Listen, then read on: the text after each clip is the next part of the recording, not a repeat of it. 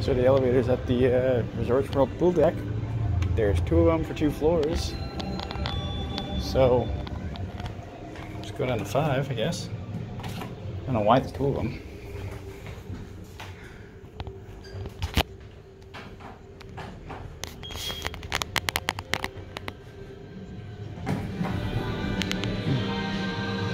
Built in the Hilton style elevators.